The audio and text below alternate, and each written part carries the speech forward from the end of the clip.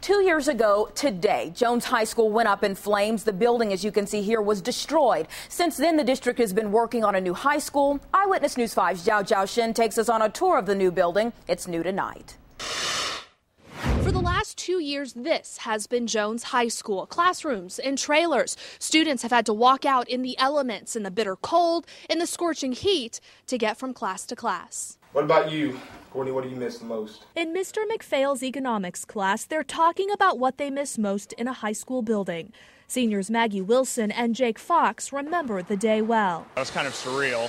I mean, you don't exactly expect to wake up one morning and find out your school's burned down. What was a tragedy then is now a blessing. This is where everything happens. The whole school design is centered around this area. A new high school filled with new opportunities. Uh, this is much, much, much nicer, and I mean, it doesn't even have walls, so that's saying quite a bit. From a stage to develop the fine arts program to a gym just for the high school basketball team, this school, the students say, has everything they want. We're going to have a PC lab as well as a Mac lab, which we've never had the opportunity to have before and everything they need.